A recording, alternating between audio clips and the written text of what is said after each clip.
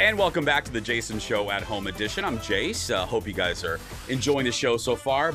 Right now, though, the show is going to get a lot better because we have two guests that America loves. First, he is America's favorite daytime producer, Ted. Everyone, right? Look at that, Ted. Hello. Ted. What's up, Ted? Thank you. Hello.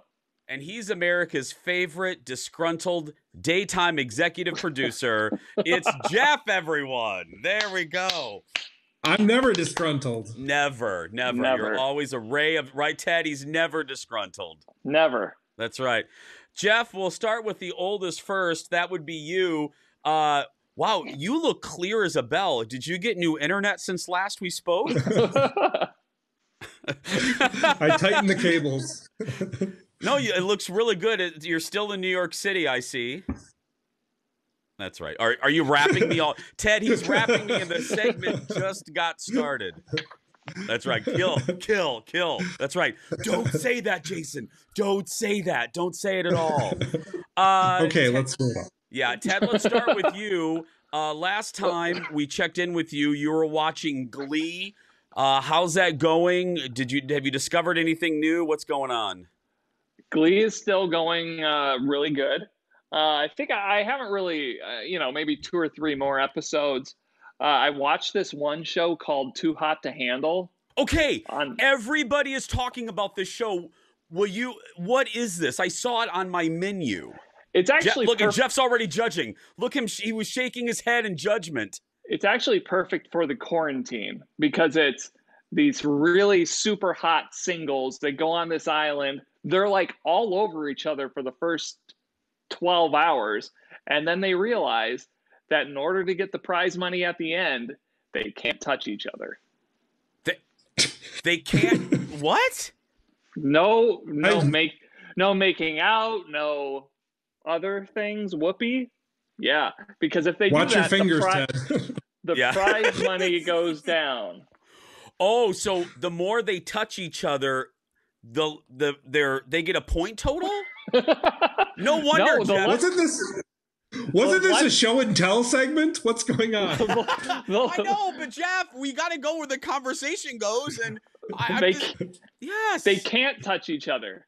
Okay. Okay, we'll get into it. So Obviously, Ted, Jeff is not interested in this. We'll have to, Ted, you and I and the I s- viewers, I- we'll do this I saw separately. I, the know. preview. He's like, I okay, watched we the have three minutes. I know. Okay, fine, Jeff. Let's watched start the with you. preview. Okay, fine. We're, we're doing a show and tell, Judgy Janet. What's your show and tell today? Well, my first, I have two, and I'll make them quick.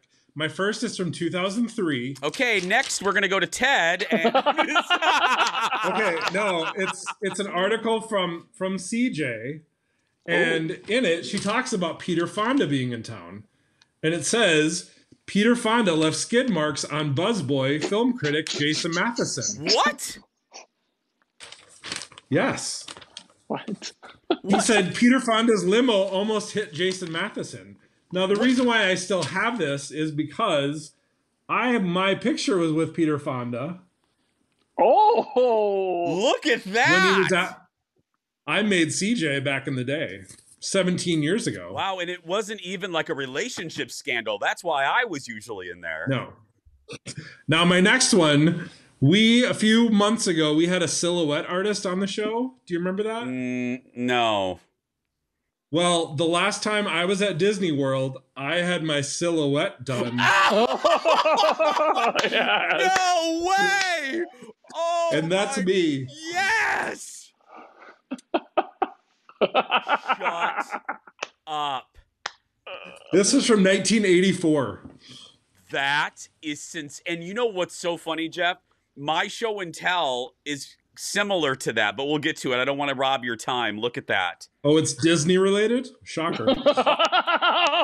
Oh, my oh! goodness! Yes. Well, Ted, we're we're done with Jeff. What's your show? What's your quarantine show and tell today?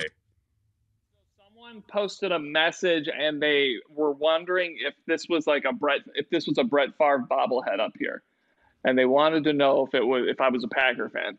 The answer is yes, but I have more than the, more than that. Oh, I oh, have he's up out of his chair. Brett Favre signed photo. Or is it somewhere in there? His Oh. signature is somewhere in there. But here's the thing this could be worth a lot of money Why? because I had the cer- certificate of authenticity. Unfortunately, I have lost that. So this is worthless. Ooh. So that But could it's have real. si- that could have been signed by like Jeff. Carl Favre. Right. Okay. Jeff, are you So- raising your hand with a question? What you have a question? Would it be worth more if it was when he was a Viking, Brett Favre? Ooh. Ooh, ooh. Ooh. Too soon. Too soon. Too soon. Well, here's What's yours, Jason? Well, mine is look at this. Now, Jeff laughed. First, I'm going to show an embarrassing high school photo at the end of the show because we're running out of time here. So I'll show that. That's the mirror image photo, Jeff, that we all took in the 80s. So we have that. And then this is Disney related. A Jason Show viewer made this for me. How cool is Oh. that? Look at that guy. oh. Isn't that lovely. great? Yes, Father Bear Workshop there made that for me. Such a good guy. And uh, look at that. Look at the craftsmanship. So there we go. Gentlemen, thank you so much for playing show and tell. Jeff, you look sensational. Oh, you just did the Dick Clark there. There we go. That was great. Thank you. What about Ted? Ted looks good. Ted looks Ted always looks good. There we Thank go. Thank you. Thank yeah. you.